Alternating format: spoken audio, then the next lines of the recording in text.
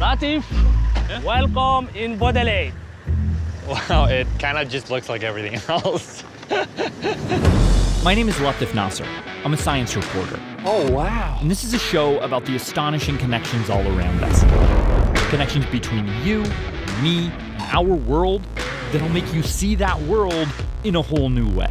Very important question. Does the Queen's poop come through here? It has a flag on it, so we salute as she comes. okay. How is the cloud above your head connected to the cloud that stores your data?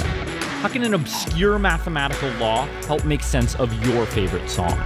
Benford's Law. Benford's Law. Could you Benford Beyonce? If anything does work, then it probably Is Beyonce.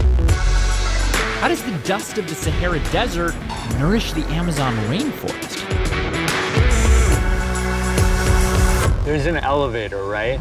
I was really excited. We think we understand a lot, but there are so many questions still open. That is crazy.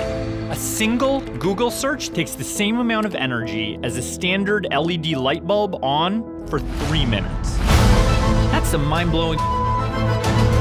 This is a show about our dynamic yet precarious planet. From an electronic country to tiny killers you can see from outer space, shark proof garden hoses, detecting potential tsunamis. What we need is nothing short of a global brainstorm.